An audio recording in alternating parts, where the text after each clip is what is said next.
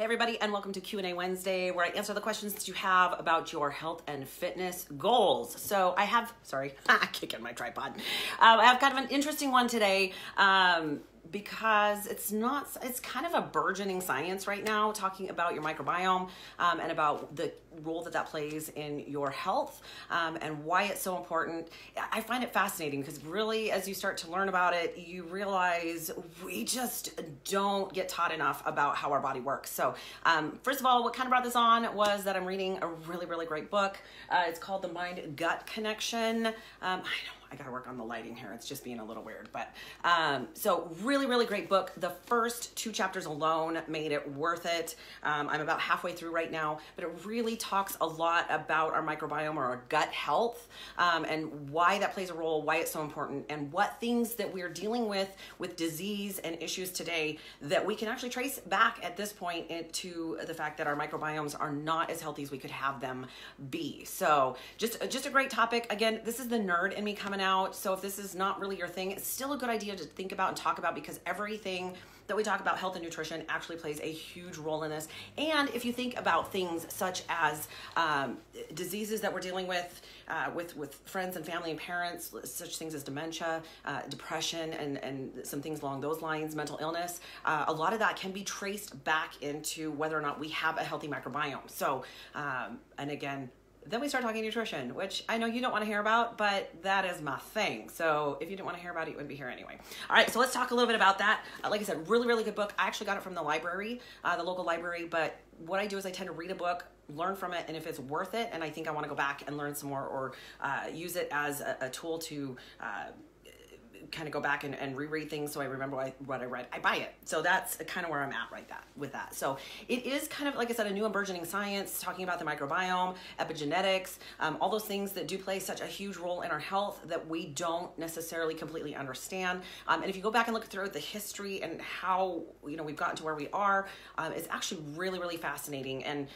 I think we've gotten in Western medicine uh, really away from looking at the person and the body as a whole because everything plays a role and works together. We're one holistic being um, when it comes to it's not just physical. There's a lot, lot more to it. So you know, if we talk about it's not just a gut, it's not just one sort of uh, part of our body that just has a motor and a, a, a thing that it has to accomplish and then it's done. It is a living mechanism. And you've probably heard at this point that we have a lot of bacteria living in our gut systems and our intestines. Um, and it's not just bacteria, it's organisms in general. There's some other things in there, such as yeast and, and fungi and things like that. But all together, they actually play a really, really important role in how our body feels balanced and how the health um, of our system works and how our body communicates. So I find it super fascinating. Um, they are now calling our microbiome our second second brain. Although I've heard somebody say, "No, nah, it's our first brain, and this one is the second. Um, but it's still really, really um, interesting. So you know, all these, all these microbiota, all these bacteria and things that live in there, um, we coexist. Um, the, the origins of bacteria came along way before we as humans did. Um, and so now we are co- coexisting together. And again, they play such a huge role in how our body works and communicates um, with ourselves. So there's definitely some beneficial uh, bacteria that lives in our body. And then, of course, sometimes they get a little bit away from. Uh, from health or you know balance and then we call that dysbiosis. Um, and then our body you know if, if you've ladies if you've ever had a yeast infection uh, that would be a dysbiosis. So you know sometimes the bad bacteria kind of do something they're not supposed to. Now we, of course we do have antibiotics in this day and age but those can also pose a huge problem because yes it kills the bad bacteria or the bacteria that are, are a little out of control but it also kills the good bacteria. And so thereby we, we have issues. I've actually worked with people, uh, clients where I've had to send them to somebody who knew a lot about leaky gut or things like that because they've had multiple multiple rounds of, of antibiotics and it's done a, a, huge disservice to their body and caused some some serious issues because diversity of bacteria in our microbiome is super, super important. So, how do we get that? Well, it starts at birth. You know, if you were a natural birth from your mother through her vaginal canal, you actually received some bacteria right there. And that's important because somebody who was born C section and somebody who was born natural have totally different microbiota. Um, if you were breastfed versus bottle fed, there's, there's a lot lot of things that came in into play to start with with your beginning system. Now we'll talk about what that means for you when it comes to things like immune systems. Um, but as you get older, other things start to make a difference, such as the region that you live in, the foods that you eat. There's there's again there's a lot of variables that play a role in there. Uh, so. Um, benefits okay let's talk really quickly about benefits of having a not only a diverse microbiome but a, a balanced system um, really a lot of things. Again nobody's taught any of this. So not only is it a neuroscience, but you know getting this information out to the average person is kind of difficult but it's so so important. So i'm really just going to kind of give you the basics. I'm not going to go into a lot of detail or science or how why when where. Just kind of the overview of why it's so important to make sure that you have a healthy microbiome. All right, and then what to do about keeping it healthy and things that are kind of destructive to it. So, your immune system, a good portion of your immune system is built in your microbiome. And so that bacteria knows how to deal with some of the things, the pathogens that come into your system, and can help to create a, a hostile environment for them and keep them at bay. Now, even some of the bad bad bacteria um, is beneficial because there are some things that it does. But again, it's all about the balance the good bacteria versus the not so great bacteria. It's the overgrowth of the bad bacteria that tends to become a problem.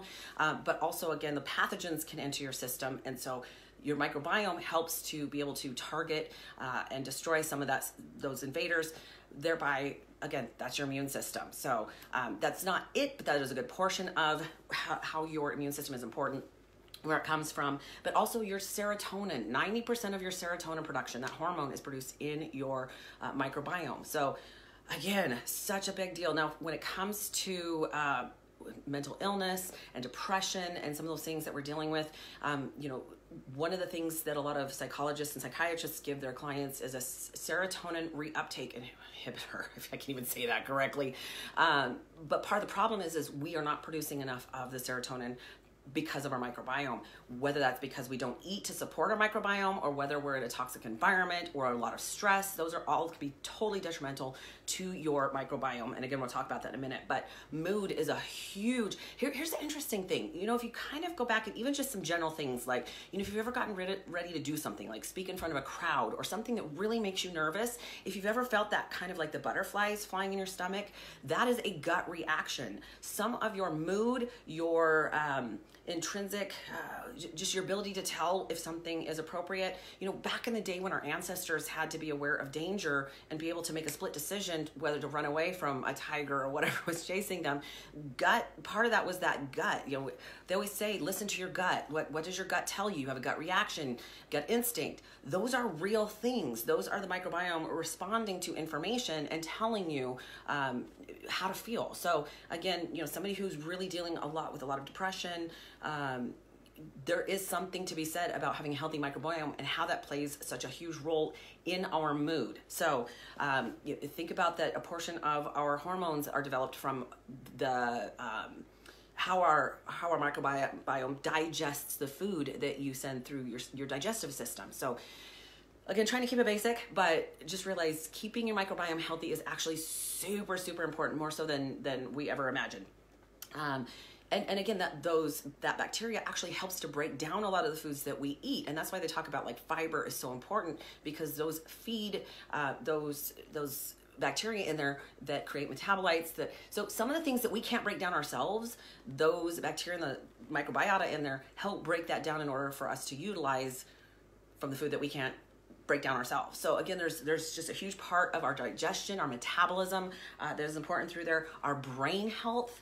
Um, there's also lots of research that shows that the type of bacteria you have in your microbiome can tell people whether or not you're going to be obese or if you're going to be lean and healthy. So again, part of that's created by what you eat um, and, and the bacteria and the microbiota that you get from your, your mother and from um, your lifestyle, your environment.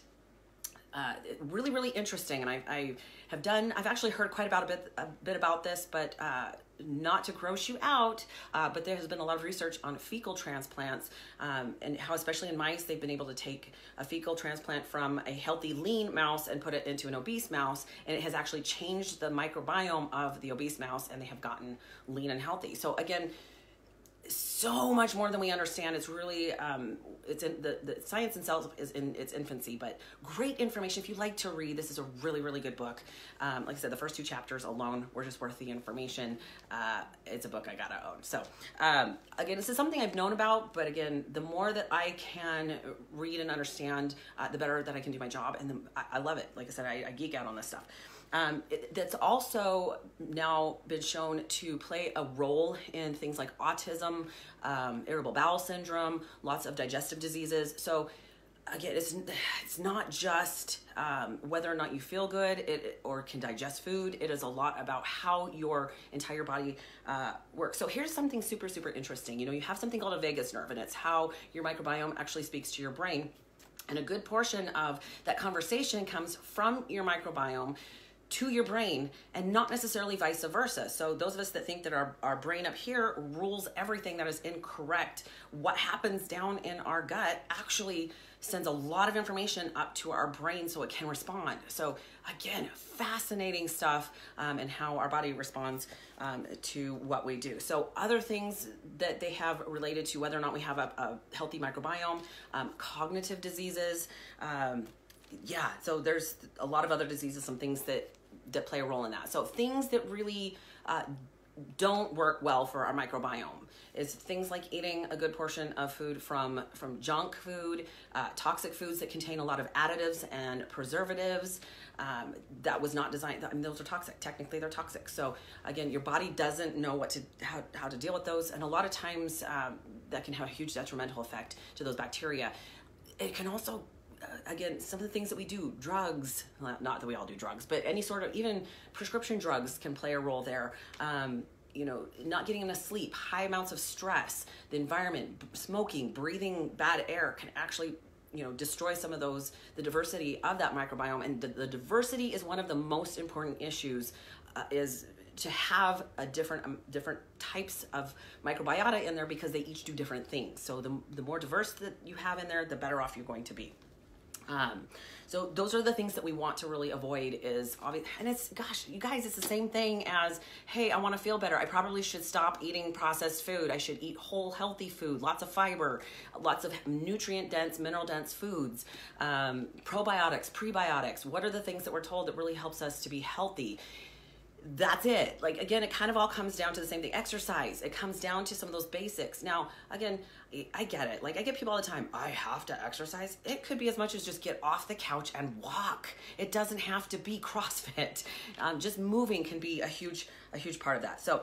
Um, eat a, variety of healthy whole foods because of course you need all of, of, of the different vitamins and minerals in that um, Okay, we talked about all that. So just again, biodiversity is really super important. Um, and again, it depends on, you know, it's kind of interesting if you've ever gone to another country um, and the people there eat all these interesting things and maybe they deal with some, some different things within their water or their foods and they don't seem to get sick from it, but we do. Again, it's because they have different uh, microbiomes than we do. So their body has gotten really used to dealing with it or yeah, there's there's a lot more to that. So your gut is alive. They actually look at it as almost its own organ because you and you have more bacteria in your gut than you have cells in your body. It's absolutely fascinating, and of course the DNA that that the microbiota have again fascinating stuff so if they if you actually weight it out it's about the same weight as your brain so i find that really super interesting. But anyhow, so again, even if that just gives you an inkling as to why it's so important to eat well and pay attention. Again, it's not just about nutrition, it is about your stress level,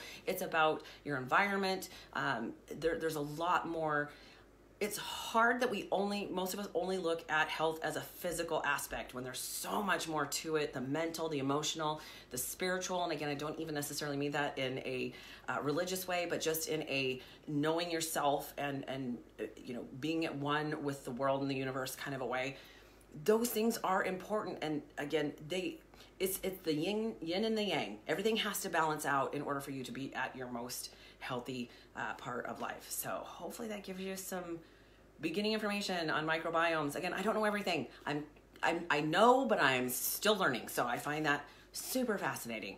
Anyway, have an incredible day. Uh, we will have. Uh, Meals with Melissa this Saturday. Things should hopefully be back to normal. I was in Florida last week. It wasn't even warm. Um, had a great time, but uh, yeah, didn't want to have to commit to being at a certain place, a certain time when it's a three hour difference. But have an incredible week, you guys. And if you have any ideas, if you have a question, please ask. I get my very best ideas from you. Um, you can also see all of these videos that I've ever done actually on Facebook uh, on my YouTube channel under Fillmore Fitness. You can go on there watch everything um, and you can comment and let me know what you think. Have a great day, you guys. Good night.